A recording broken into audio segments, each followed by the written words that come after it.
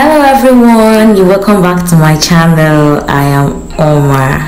Yes and in this video i'll be packing my bag my crochet kit um, or carry on bag whichever one you call it in this video.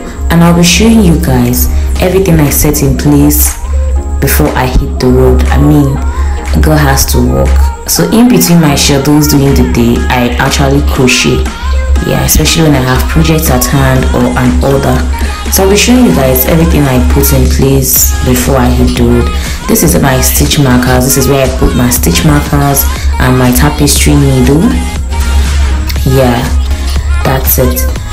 Um the next thing i'll be showing you guys is my tape. I'll be packing my tape my measuring tape right there.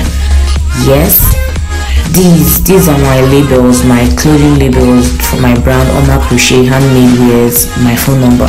So whenever I'm done making these wears I tag the clothes um the label. These these are applique stones and studs fittings actually put on my crochet work when necessary. This goes with the hot melt um, glue. Yeah this is my pen of course my book which i use to say thank you for your patronage at Oma Crochet. I always use a special pen to write this. Whenever i see this it's straight from my heart. Just know that. Yeah that's the pen I actually use for writing. That is yeah nothing else I work with is normal pen. Yeah for writing notes measurements or stuff I need to correct. That's it Another thing I work with is the lighter which I use in melting my glue candles or my glue stick. Yeah, and I just use it to burn the the yarn when I need to. This is my 14 pieces um, hook set which I use in working. This is the glue candle I'm talking about. Yes, I use it to um, um, fix my fittings, my stickers, my stones when necessary. Yep another thing I work with here is the scissors obviously. I've been using my scissors to cut out and to snap it out you know? Yeah?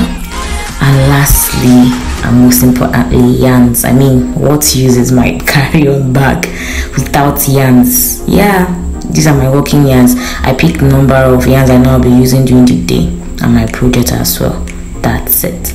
So thank you guys for watching this video you love it give it a thumbs up. Subscribe and that would go a long way for me you know. Thank you. So i'll see you guys